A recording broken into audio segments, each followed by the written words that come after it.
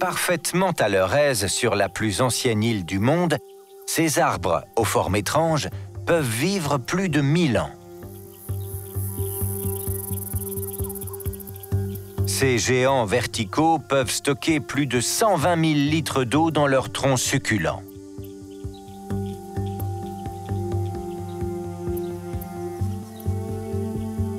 Grâce à leur écorce spongieuse, ils peuvent limiter les pertes d'eau et patienter pendant la dure saison sèche.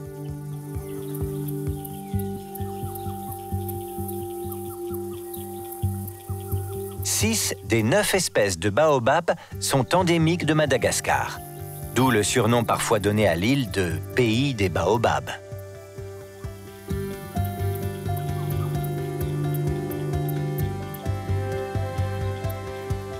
Dans la langue locale, le baobab est appelé Reniala, ce qui signifie mère de la forêt. Ici, dans les fourrés épineux du sud-ouest de l'île, les baobabs veillent sur le paysage.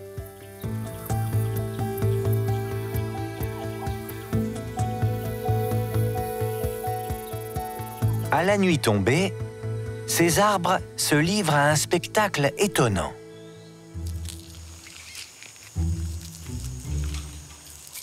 Leurs fleurs, mesurant près de 30 cm de long, peuvent s'ouvrir en moins de 60 secondes, révélant leur nectar. Un mets irrésistible pour l'un des plus petits lémuriens. Moins de 70 grammes sur la balance. Leur incroyable mémoire et leur sens de l'orientation permettent aux microcèbes de se déplacer dans la canopée.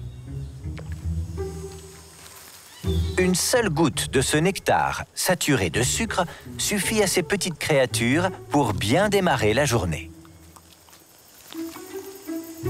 En échange de ce petit déjeuner, leur fourrure collecte du pollen qui sera transporté vers les fleurs d'autres arbres pour les polliniser.